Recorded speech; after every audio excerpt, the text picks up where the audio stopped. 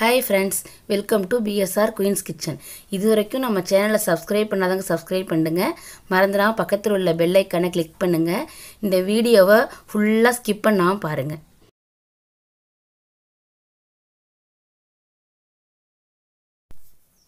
Viewers அனைவருக்கும் இனிய தீபாவளி நல்வாழ்த்துக்கள்.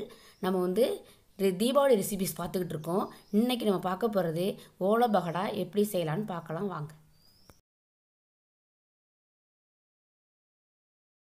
இதுக்கு வந்து மிளகாய் வந்து வெந்நீரில் வச்சு ஊற வச்சு வச்சுருக்கேன்.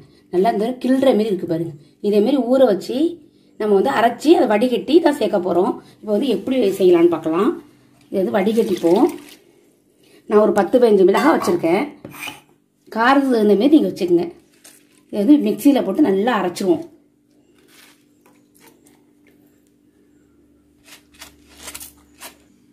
நம்ம வந்து இந்த தண்ணியை ஊற்றி அரைச்சிக்கலாம். நான் முதல்ல மிளகாய் அலசிட்டு தான் ஊற வச்சேன். அதனால தண்ணி எடுத்துக்கலாம். இப்போ அரைச்சிக்கிட்டோம். இதை வடிகட்டிக்கலாம். வடிகட்டிடணும் நம்ம.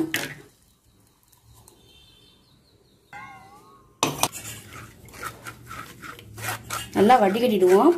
வடிகட்டி இதை இன்னொரு ஓட்டு ஓட்டிக்கலாம் இப்போ நம்ம ஓலப்பாடு அப்படிங்கிறதுக்கு இந்தமாரி கனமான இரும்பு எண்ணெய் சட்டி. இதேமாரி மாதிரி நல்லா இருக்கும். நல்லா செய்யறதுக்கு நல்லா வரும். நல்லா நின்று வேகும். நல்லா டேஸ்ட்டாகவும் இருக்கும்.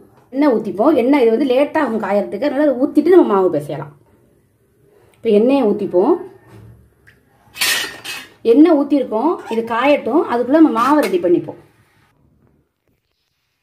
வந்து கடலை மாவு இது. இது வந்து நான் கடலை மாவாக தான் வாங்கி சலிச்சு வச்சுருக்கேன். இது வந்து அரிசி மாவு. இது வந்து அரிசி வாங்கி கடைஞ்சி காய போட்டு மிஷினில் கொடுத்து அரைச்சிட்டு வந்திருக்கேன். அரைச்சிட்டு வந்து என்ன பண்ணுங்க? ஆற விட்டுருங்க அரைச்சிட்டு வந்த வழியோட ஆற விட்டுட்டு பேப்பரில் போட்டு அப்புறம் சலிச்சு இந்த டப்பாவில் கொட்டி வச்சுக்கோங்க அதுமாரி. இப்போ வந்து என்ன பண்ண போகிறோம் கடலை மாவு இது வந்து கடலை பருப்பு வாங்கி அரைச்சும் செய்யலாம் நீங்கள் கடலை மாவை வேணாலும் யூஸ் பண்ணிக்கலாம்.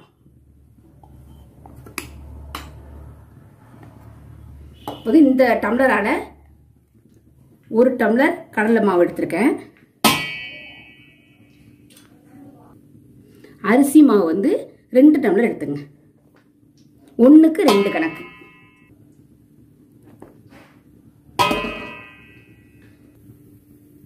இந்த மிளகாய் அரைச்சி வச்சிருக்கோம் பார்த்தீங்களா அது இது பெருங்காயத்தை ஊற வச்சு வச்சுருக்கேன். நல்லா பெருங்காயம் வந்து கட்டி பெருங்காயத்தை நல்லா ஊற வச்சுருக்கேன். இதுக்கு வேண்டிய உப்பு எடுத்து வச்சுருக்கோம். இப்போ என்ன பண்ணலாம்? எப்படி பிசையலாம்னு பார்க்கலாம். இப்போ வந்து நான் மூணு டம்ளர் கடலை மாவும் ஆறு டம்ளர் அரிசி மாவும் போட்டிருக்கேன். முதல்ல நல்லா மிக்ஸ் பண்ணிக்குவோம். நீங்கள் வந்து பிழிஞ்சு பார்த்துட்டு இன்னும் கொஞ்சம் கொஞ்சம் கர வேணும்னா நீங்கள் இன்னும் கொஞ்சம் அரிசி மாவு சேர்த்துக்கலாம்.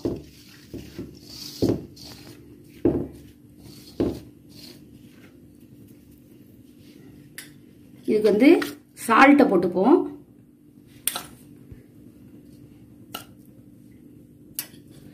சால்ட்டையும் போட்டுட்டு நல்லா அப்படி பசங்க இது பண்ணிங்க ஒத்தாப்புல வந்துடும்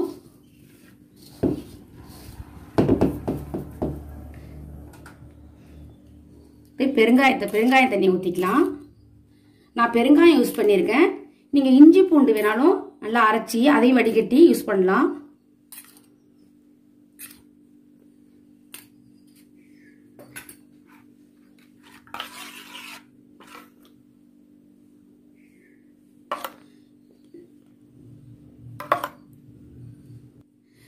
தனி மிளகாய் தூளும் யூஸ் பண்ணிக்கலாம். நான் வந்து இதே மாதிரி அரைச்சி போடுறேன். தண்ணியை வந்து கொஞ்சம் கொஞ்சமாக விட்டு பிசைங்க. ஒரே தெரியாம பிசையாமல் கொஞ்சம் கொஞ்சமாக விட்டு பிசைங்க.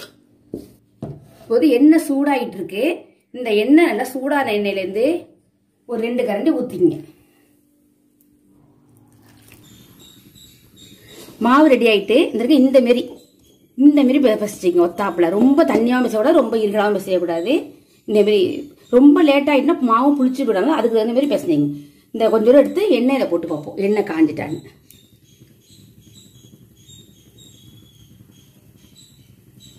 ம் எண்ணெய் காஞ்சிட்டு. இதுங்க போட்ட நாளைக்கு மேலே வருது பாருங்க. ஒரு உருண்டை எடுத்து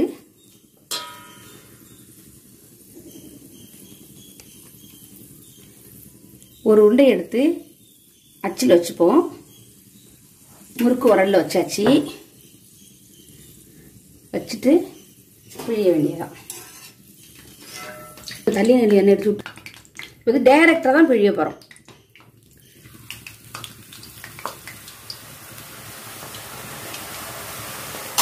இப்போ வெந்திட்டுருக்கு உடனே திருப்பி போடாதீங்க. கொஞ்சம் கொஞ்சம் வெதாக விட்டு திருப்பி போடலாம். பபுள்ஸ் அடங்கணும்னா எடுத்திங்கன்னா சரியாக இருக்கும்.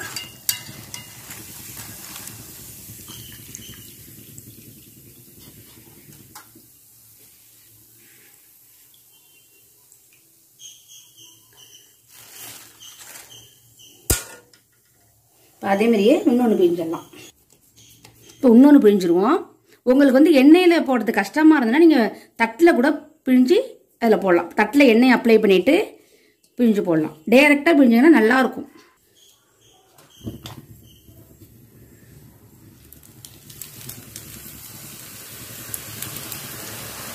திருப்பி போட்டுக்கலாம்.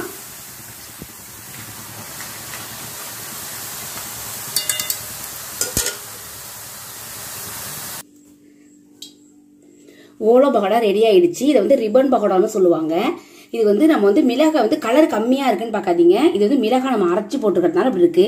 சில்லி போட்டு போட்டால் கலராக இருக்கும். ஆனால் இது வந்து காரம் தெரியும். இது இருந்தாலும் காரம் இல்லாதுங்க எப்படி இதாக இருக்கும் எவ்வளோ கிறிஸ்பியாக இருக்குது பாருங்க. சூப்பராக இருக்கும். நீங்களும் இதை வீட்டில் ட்ரை பண்ணுங்கள் இதேமாரி ட்ரை பண்ணுங்கள் நல்லாயிருக்கும் இந்த வீடியோ உங்களுக்கு பிடிச்சிருந்ததுன்னா லைக் பண்ணுங்கள் ஷேர் பண்ணுங்கள் கமெண்ட் பண்ணுங்கள் பிஎஸ்ஆர் குயின்ஸ் கிச்சனுக்கு சப்ஸ்கிரைப் பண்ணுங்கள் மறந்துடாமல் பக்கத்தில் உள்ள பெல் ஐக்கானை கிளிக் பண்ணுங்கள் Thank you.